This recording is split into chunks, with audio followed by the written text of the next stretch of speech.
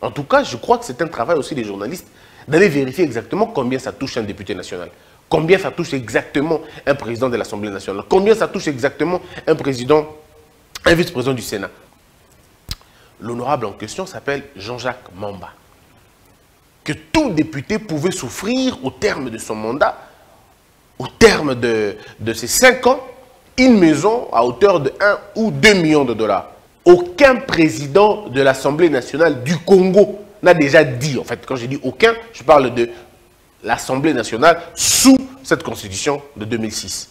Aucun président de l'Assemblée nationale ne nous a déjà clairement dit voici combien gagne un président de l'Assemblée nationale, puisque si nous publions nos émoluments, on sera submergé, les gens viendront par-ci par-là, et vous savez, nous on donne de l'argent aux gens, ainsi de suite. Bref, ils sont dans un système qui avait déjà été mal fait, où un député serait un distributeur d'argent. Pourtant, nous savons tous que le rôle d'un député, ce n'est pas de distribuer de l'argent. Le rôle d'un député, c'est de contrôler le gouvernement afin que le gouvernement exécute convenablement son plan. Puisque si le gouvernement euh, se met au travail pour résoudre le problème de pauvreté, aucun député ne verra des gens chez lui à la maison. Aucun. Monsieur Vital Kamer est président de l'Assemblée nationale. En ce moment-là, il y a un débat autour de, je crois qu'il y avait un, débat autour de la hausse des salaires des enseignants, je peux me tromper en tout cas, un débat autour de la hausse des salaires des enseignants, ainsi de suite. Et il y a eu un groupe de députés qui avait dit non. Et dans le groupe de députés, il y avait un pasteur. Vous le connaissez tous, je ne citerai pas son nom. Et monsieur Vital Kamer a même posé la question au pasteur. Pasteur, même vous, vous vous souvenez de la chose? Ça veut dire qu'ici, on est dans un système où vous avez des députés qui n'accepteront peut-être jamais de baisser les salaires. Et baisser les salaires des députés ne vient pas que de la simple volonté du président de la République qui se réveille un matin et dit on va baisser les salaires des députés. Non.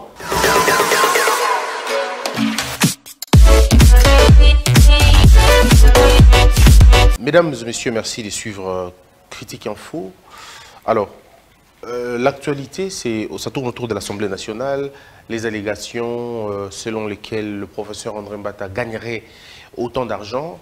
Euh, alors, il, est très important de rappeler d'abord une chose, parce que c'est vrai que je ne serais pas resté longtemps sur la question, mais bon, il faudrait tout simplement euh, nous, amener à la culture de, de, on va dire, de la vérification, la culture de son propre jugement. Il est très important, sinon, euh, si on se laisse entraîner par ceux qui racontent des histoires, ça va être très, mais vraiment très compliqué.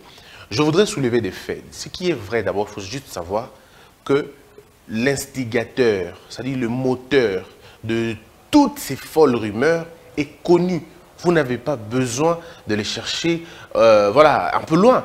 C'est lui qui donne des fausses informations comme ça dans le but de discréditer toute une institution ou une personne. On connaît tous la personne. Et la personne n'est pas à son premier forfait. C'est c'est l'habitude de la personne. Donner des fausses informations pour finalement euh, discréditer les gens. Ici, je le dis, hein, moi je ne parle pas des médias qui ont parlé, ce n'est pas mon, mon, truc. Je parle de celui qui détient les informations. Puisqu'ici, il faut dire que celui qui dit ça, c'est la, la personne qui avait déjà autrefois allégué des faits. Et quand on avait confronté ces faits-là, on s'était rendu compte que ce n'était pas vrai. J'ai l'avantage d'avoir reçu sur ce plateau, bien un plateau de face à face bien sûr, un député membre de la commission, une commission aussi importante, la commission ECOFIN, qui nous a dit que le propos qu'on avait entendu autrefois de 7 millions de dollars, de 4 millions par-ci, de 3 millions par-là, était total. Ces allégations étaient fausses et qu'on avait menti à la République. L'honorable en question s'appelle Jean-Jacques Mamba. Je continue, vous pouvez suivre l'émission d'ailleurs, elle est en ligne. Je pose la question à M. Mamba. Voici ce qu'un ancien président, un ancien premier vice-président de l'Assemblée nationale a allégué que tout député pouvait souffrir au terme de son mandat, au terme de, ses cinq ans, une maison à hauteur de 1 ou 2 millions de dollars. Est-ce vrai? Le député nous dit c'est totalement faux et c'est pratiquement impensable. Alors on essaie d'aller plus loin pour savoir combien gagnerait véritablement un député ni le député qui était sur mon plateau n'a pu me le dire, moins encore la présidente de l'Assemblée nationale, à l'époque, qui était elle aussi incapable de nous donner les chiffres exacts. Alors, mesdames et messieurs, en toute objectivité, comment est-ce que l'on peut alléguer des faits quand on n'a pas, ne serait-ce que le tout petit soubassement que possible? Puisque l'institution elle-même ne dit jamais la vérité sur les salaires, sur les émoluments. Jamais. Alors donc, ici, on peut alléguer comme on veut, mais on n'aura jamais de soubassement clair. ce qui doit se comprendre de côté Wana. Aujourd'hui, c'est un mystère. Un mystère bien caché que de savoir combien touche réellement un député. Je le répète, aucun président de l'Assemblée nationale du Congo n'a déjà dit, en fait, quand je dis aucun, je parle de l'Assemblée nationale sous cette constitution de 2006. Aucun président de l'Assemblée nationale ne nous a déjà clairement dit voici combien gagne un président de l'Assemblée nationale, voici combien gagne un vice-président de l'Assemblée nationale, voici combien gagne, voici combien gagne. Jamais. Tous ces députés ou tous les membres de l'Assemblée nationale ont trouvé une véritable façon de garder ce qu'ils gagnent en secret. Et ils ont tous la même définition comme dans une église. Ils ont tous la même, la même explication. Non, on ne peut pas donner, livrer, euh, comment on appelle, on ne peut pas publier nos salaires, nos émoluments, puisque si nous publions nos émoluments, on sera submergé, les gens viendront par-ci par-là, et vous savez, nous on donne de l'argent aux gens, ainsi de suite. Bref, ils sont dans un système qui avait déjà été mal fait, où un député serait un distributeur d'argent. Pourtant, nous savons tous que le rôle d'un député, ce n'est pas de distribuer de l'argent. Le rôle d'un député, c'est de contrôler le gouvernement afin que le gouvernement exécute convenablement son plan. Puisque si le gouvernement euh, se met au travail pour résoudre le problème de pauvreté, aucun député ne verra des gens chez lui à la maison. Aucun. Si les gens viennent chez les députés, parce que le gouvernement a failli. Et si le gouvernement est en train de faillir, parce que l'Assemblée nationale ne fait pas convenablement son travail, qui est celui de contrôler. Puisque si on était véritablement dans un exercice de contrôle-travail, contrôle-travail, aucun gouvernement ne tiendrait trois mois ou cinq mois ou six mois. Aucun. Parce qu'on sera en train de, vivre des, je veux dire, des virements de catastrophe, en catastrophe. Puisque le député aurait pour rôle simplement de contrôler. Et une fois que le contrôle est fait et qu'il n'y a pas convenablement le rapport qu'il fallait entre le cahier des charges et tout ce qu'il y a comme vos responsabilités, on vous évince. Mais c'est vrai, c'est facile en le disant, mais dans la pratique, il faut laisser un temps de réflexion. Il y a beaucoup de choses aussi en même temps. Bref, tout simplement pour vous dire qu'aujourd'hui, tout celui qui va vous dire que Mbata gagne autant, Mbata gagne autant, ou Mbosso gagne autant, ou tel gagne autant, on est en train de tomber. Mais c'est très facile de savoir Nanyaza Simebe. On a évité pourquoi les gens sont en train de réfléchir. Et c'est facile à dire Nanyaza Sima Yamakambouana. Muto Aza Sima Yamakambouana Amiyebi eza muto aza na posa que bato tout bakoya nsima na je ne cite pas les noms parce que ce n'est pas dans mes habitudes de citer les noms des gens. Mais je peux vous rassurer ici que tous les chiffres et moi je ferai de mon mieux en tout cas je crois que c'est un travail aussi des journalistes d'aller vérifier exactement combien ça touche un député national combien ça touche exactement un président de l'Assemblée nationale combien ça touche exactement un président un vice-président du Sénat alors, pour ce qui est du professeur André Mbata, je suis très mal placé pour en parler parce que les gens vont dire, bon voilà, c'est ton vieux, vous vous connaissez depuis très longtemps, et ainsi de suite. Au-delà du fait que le prof Mbata soit un maître pour moi, quand je dis maître, ça veut dire que c'est un enseignant, il m'enseigne à l'école, euh, au, troisième cycle, je dis, c'est pas forcément pour ça. C'est pourquoi je dis que je suis un peu mal à l'aise pour parler de lui. Mais en tout cas, c'est mal connaître la personne. Et même alors, prenons la prenons ça dans, dans son sens. J'aurais aimé que ça soit un détournement. J'aurais aimé, j'aurais été scandalisé s'il s'agissait d'un détournement. J'aurais été scandalisé si on parlait oh, prof Aïbimbongo, j'aurais vraiment été scandalisé. Mais ici, on parle des émoluments. Ce n'est pas quelqu'un qui choisit les émoluments. C'est-à-dire qu'on est en train de parler d'un système qui donne ou qui paye ou qui rémunère selon Christian Monedali, et puis moi je vais m'offusquer. Je m'offusquerai pourquoi? Si je m'offusque, ça devient de la jalousie, ça devient de la haine qui est très mal placée. Je vous donne de petits exemples. On vous dit qu'un monsieur gagne 40 000 dollars la semaine à la Banque mondiale. Exemple, il gagne 40 000 dollars à la Banque mondiale. Non, mais comment il peut gagner 40 000 dollars? Oh, mais non, ce n'est pas à lui que vous allez vociférer. Ce n'est pas à lui. Si vous voulez véritablement vous attaquer, attaquez-vous à la Banque centrale. Attaquez-vous à la Banque mondiale. Attaquez-vous à l'employeur. Ne vous attaquez pas à l'employé. Puisque ce n'est pas l'employé qui dit paye-moi autant. C'est l'employeur qui estime que le travail que tu fais doit être rémunéré à telle hauteur. Voici les rubriques qui tournent autour de cela. Et un seul député ne peut pas régler le problème des salaires de tous les Congolais. C'est faux et archi faux. Ça, c'est ce qu'on appelle de la manipulation, mais en même temps aussi euh, voilà, du populisme. Ici, on a dit aux gens depuis très longtemps, et ça, on le disait même quand on était, quand on était en train de combattre l'ancienne administration. On disait, rationaliser les revenus des gens. On disait cela, que les institutions étaient budgétivores. On disait ça depuis très longtemps. Même avant que Tshisekedi n'arrive au pouvoir, on était en train de dire, corriger cette histoire en amont, corriger ça avant. Personne ne nous a entendu. Aujourd'hui, ceux qui ont remplacé, eux aussi ne veulent pas changer, euh, ne veulent pas changer directement. Ils disent, bon, on va faire ça dans des réformes, et puis vous trouvez 500 députés. Je vais vous, donner un exemple. Il y a ici dans ce pays, M. Vital Kamere, je peux citer son nom. M. Vital Kamere est président de l'Assemblée nationale. En ce moment-là, il y a un débat autour de, je crois qu'il y avait un, débat autour de la hausse des salaires des enseignants, je peux me tromper en tout cas, un débat autour de la hausse des salaires des enseignants, ainsi de suite. Et il y a eu un groupe de députés qui avait dit non. Et dans le groupe des députés, il y avait un pasteur. Vous le connaissez tous, je ne citerai pas son nom. Et M. Vital Kamere a même posé la question au pasteur. Pasteur, même vous, vous vous souvenez de la chose? Ça veut dire qu'ici, on est dans un système où vous avez des députés qui n'accepteront peut-être jamais de baisser les salaires. Et baisser les salaires des députés ne vient pas que de la simple volonté du président de la République qui se réveille un matin et dit on va baisser les salaires des députés. Non. Ce n'est pas un travail que lui peut décider aujourd'hui. Alors Mouki a dit, bon, je suis de l'IDPS, je, viens de l'opposition, on va baisser les salaires des députés. Il ne peut pas le faire, ce n'est pas, son, travail. Et il n'en a même pas le droit. Alors il faut qu'à un moment donné, bah, doit comprendre Makambo. Il faut que les gens comprennent les, les choses. Il y a eu des propositions. Ah ouais tolongola makambo ba suppléant ya bana ya basi ya bandeko tolongola mais vous avez vu la résistance des députés. Cette loi n'est jamais passée.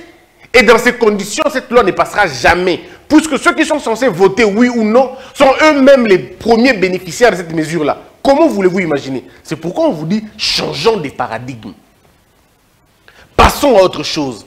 Ça ne sert à rien de dire tel fait ceci, tel fait cela. Non, ici, il faut voir le problème de façon holistique. Comment on change la chose? Qui sont les acteurs de changement? Comment nous allons mener des réformes? Il est possible de mener des réformes même là où les gens profitent de ces, désordres. Il est possible. Mais comment vous enjancez les, mécanismes? Mais malheureusement, euh, les gens disent ce qu'ils veulent dire. Donc bref, en fait, c'est simplement ça pour que les gens comprennent. Moi, je vais, j'attends que, je crois que le prof Mbata n'est pas sur place. Quand il reviendra et qu'il sera de retour, je crois qu'il va, il va nous expliquer. Parce que c'est quelqu'un qui tient aussi à sa, personnalité, ainsi de suite. Mais ce qui est bien dans tout ça, ce qu'il ne s'agit pas d'un détournement, ce qui est bien dans tout ça, ce qui ne s'agit pas d'un enrichissement illicite, ce qui est bien dans tout ça, ce qui ne s'agit d'aucune fraude ou aucune faute. Mais nous savons tous que la personne qui est derrière je leur ai dit encore, parce que bino, biso aidara que aujourd'hui kambu, aucun bisa journaliste, tout bisa muto, tala Christian Loba qui n'a Moi, je suis au-delà de ces, de ces petites histoires-là. Je, je, le dis ici, je ne réponds pas à un média, je ne réponds pas à un monsieur ou à une dame ou je ne sais pas moi à qui. Ici, tout ce que je vous dis, le, la, le, la, la, source et information, on a. Muto abimisi information, on a ayebani. O abimisi information, il y a lokuta ayebani les députés, comment on peut dire que quelqu'un peut dire, dit, dit euh, le Premier ministre a fait ça, bon, gérer les députés. Ben, attendez des secondes. Vous connaissez ces députés-là. Vous connaissez très bien ces députés-là. Et aucun député n'a pris parole. Aucun député n'a parlé de ça. Aucun. Est-ce que vous imaginez un peu? C'est-à-dire aucun député n'a levé son doigt pour dire oui, effectivement, bon, on est à Ce qu'on appelle ça, c'est secret. D'abord, il y a un mensonge grossier dans les informations telles que données par celui qui a donné l'information. Hein, vous tapez ça qui va tout cette information. Parce que bateau tout va information, information. On leur a donné ces infos. Hein, on leur a donné ces infos par la personne que nous connaissons tous. Donc, il n'y a pas besoin d'aller loin dans Marambouana. Alors, voilà comment ça se passe en fait, on avait, avant on avait dit, non, un ancien vice-président, disons, un, premier vice-président, a 120 000 dollars. C'est ça le débat. A gagné 120 000 dollars le mois. Ok. Mais comme il comme il 80 000. Après, c'est 80 000 dans l'écolo, il y a 200 000. Sur 80 000 dans l'écolo, on a pour sa professeur d'université, pour sa professeur extraordinaire, bapesi 80 millions pour membre ya idps bapesi 80 millions pour azalaki moto PAJ 80 000 dollars été justifié dans quoi? Qui déjà salaire ya qui déjà émolument eza 120 soki epa na ye komi ndenge nini azwa 80 80 millions na se justifié na nini Vous voyez, c'est pourquoi on dit que le mensonge n'est jamais parfait. Quand on commence à mentir, il y a toujours des problèmes qui eux aura toujours. Et les gens ne veulent pas couler tout seuls, ils veulent couler avec les autres. Ici, il est question de dire aux gens, ne croyez pas en des histoires. Hein, donc c'était justement un petit passage. Croyez pas en ces faussetés-là, en ce fausseté-là. Je peux témoigner sur une question. Je peux, il y a des gens, y a Congo, qui quand vous entendez des gens, il y a des gens comme le professeur Mbata, je peux vous rassurer, ceux qui croient en moi bien sûr, ceux qui croient en ce que je vous dis, je peux vous rassurer que s'il y a des hommes et des femmes intègres dans ce pays, vous pouvez compter le professeur Mbata. Je le dis et je l'assume. Pour l'avoir, je peux le dire avec fierté parce que c'est quelqu'un avec qui j'ai parlé pendant très longtemps. Aujourd'hui, avec le prof, ça pourra faire pratiquement 8 ans ou 9 ans que je pratique ce monsieur, que je pratique cet homme, près de 9 ans. J'ai jamais vu quelqu'un d'aussi effacé, jamais vu quelqu'un d'aussi humble, jamais vu quelqu'un d'aussi sérieux, jamais vu quelqu'un d'aussi intègre. Ça, je peux vous le dire. Et de toute façon, vous savez que je l'ai toujours dit depuis le début. Alors, à un moment donné dans la vie, c'est pas parce que tout le monde vole que tout le monde est voleur. C'est pas parce que dans une société où les gens sont en train de voler que tout le monde est voleur. C'est pas parce que dans une société les gens sont des farceurs que tout le monde est farceur. C'est pas parce que dans une société tout le monde est devenu bongo qui va tout la bongo. Il y a des gens qui connaissent, qui savent définir la faim. Il y a des gens qui savent définir la pauvreté. Il y a des gens qui savent définir le manque. Et n'oubliez pas, ne mélangez pas les gens, c'est ça le plus grand problème. Dans la vie, vous avez des voleurs et vous avez des hommes sérieux. Dans la vie, vous avez des gens honnêtes et vous avez des hommes malhonnêtes. Ça existe. Ne faisons pas le mélange. C'est très important. Et moi, je le dis, je le dis, je le dis, je le dirai encore. Il y a une autre, information. Je suis en train de, récupérer les informations, puisque vous le savez, hier, on n'était pas là. Pourquoi on n'était pas là hier? Parce qu'il n'y avait pas de courant. Simplement. Il n'y avait pas de courant, pratiquement au Gombe, une très bonne partie à Gombe. Courant. En ville en ville. Mais vous avez un DG de la SNEL, vous avez toute une équipe de la SNEL qui va vous dire des choses, qui va vous raconter des choses. Mais là, en tant qu'opérateur, nous payons la SNEL régulièrement, moi personnellement, mon entreprise, nous payons régulièrement à la SNEL. Au-delà du fait qu'on paye régulièrement à la SNEL, nous payons régulièrement pour que tout fonctionne convenablement. Mais malheureusement, la SNEL ne nous avertit pas qu'elle va, elle va, elle va couper. Elle nous dit absolument rien on se retrouve courant zaté, on se retrouve courant ayé. Pour la simple journée d'hier, courant ayé et qui non, avant-hier, pardon, courant ayé et qui atteint sept fois. On a des matériels qui peuvent être endommagés et que la SNEL ne prendra jamais la responsabilité de payer toutes ces choses. Mais la SNEL dit, direction, elle, a, une direction, il y a aussi un DG, il y a des autorités, il y a tout ça, tous ces gens là-bas. Mais incapables de résoudre le problème. Incapable. Est-ce que vous imaginez les, préjudices que ces gens nous causent? Nous, on est un média. Ça veut dire nous travaillons essentiellement l'électricité. Quand il n'y a pas d'électricité, on ne sait pas travailler. Mais ils vont s'arranger pour qu'on n'ait pas de courant. Comme hier, par exemple, toute la journée, tout ça qui n'a monté. Et ce bâtiment a pratiquement quatre chaînes ou trois chaînes. Donc on a été tous, euh, euh, on va dire, préjudiciés comme ça. Simple, simple. Sans note, sans explication, et ils s'en foutent royalement. Ils n'ont même pas besoin de vous dire des choses. Tant que vous bien, ah, ok, c'est ça le problème. Attendons, peut-être, un jour arrivera, on comprendra ce que c'est être un directeur d'une entreprise publique, on comprendra ce que c'est être un directeur d'un service public. Peut-être peut le point avec nous au Congo, on n'a pas encore défini c'est quoi un service public. On confond ça. On regarde seulement le prestige d'être DG, mais on ne comprend pas les prestiges, on ne comprend pas, pardon, la responsabilité qui en découle. Mais bon, qu'est-ce qu'on va dire? Surtout le bio, de l'obaki, tout ça, tout kenaï, tout Donc voilà un peu, c'est la raison pour laquelle hier on n'a pas diffusé.